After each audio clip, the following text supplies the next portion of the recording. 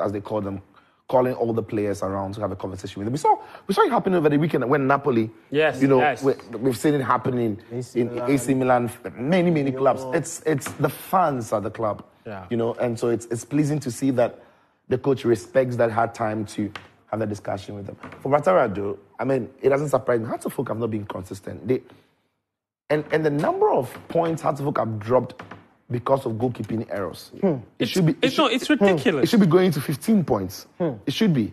Because they, they, they keep make, getting these errors against them. From my whole season. count, Hartlefield have conceded six goals directly from goalkeeping errors. Yeah. Yeah. Yeah, and it's, it's terrible. And, and some of them happen From different time. goalkeepers. From Yeah. different goalkeepers. The so- impact of those goals. yeah, yes, the Most impact of of, them those have goals. become like our winners. Yeah. So, Crucial. I agree with you. Absolutely. So, yeah, Hearts of Oak are, uh, have not been consistent. So when they when they had those those three games in a row, it was really a matter of if that was going to could have continued, that was going to continue. But the answer was no. And I think the manager has come into a time where he couldn't bring in his own players. He's still learning about the team. So if the club is going to be, be patient with him, maybe the next season is when he can probably be properly judged on the work he's doing with Hearts of Oak.